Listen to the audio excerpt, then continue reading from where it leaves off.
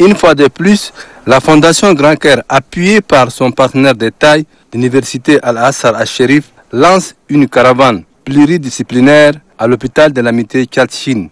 L'équipe de cette caravane est composée de médecins expérimentés tchadiens et égyptiens. Ces derniers sont spécialisés dans divers domaines.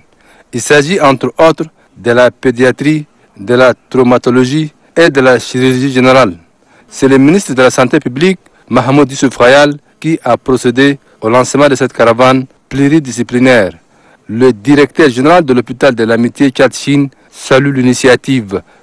C'est un honneur pour le ministère de la Santé publique, puisque dans cet objectif, nous visons d'abord le renforcement des capacités des experts en santé de l'hôpital de l'amitié Tchad-Chine, la formation continue et euh, l'objectif thérapeutique, c'est lui de couvrir en 10 jours 500 actes chirurgicaux dans différentes disciplines chirurgicales. Le secrétaire général de la Fondation Grand Caire a positivement apprécié le partenariat qui lie son organisation à l'université Al-Assar al-Sharif tout en invitant la population à se mobiliser pour bénéficier gratuitement des soins. Notre joie est immense de voir cette équipe médicale une fois de plus à cet hôpital de N'Djamena pour célébrer ensemble ce partenariat agissant qui lie nos deux institutions dont le mérite et le sacre sont à la dimension des spécialités qu'offre gratuitement cette caravane pluridisciplinaire.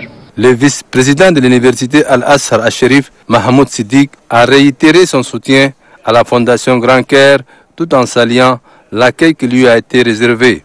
De son côté, le ministre de la Santé publique a salué la coopération agissante entre la Fondation Grand Caire et l'Université Al-Assar al-Sharif. Cette caravane a été planifiée par la première dame du Tchad, la Fondation Grand Cœur qui l'avait lancée et nous avons un accord de coopération entre nous et la Fondation Grand Cœur. Et sur ce, je ne pourrais leur dire que merci.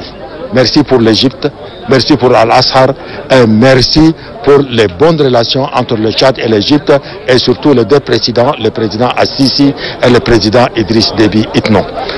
Cette caravane pluridisciplinaire qui durera 10 jours permettra à prendre en charge 10 000 patients.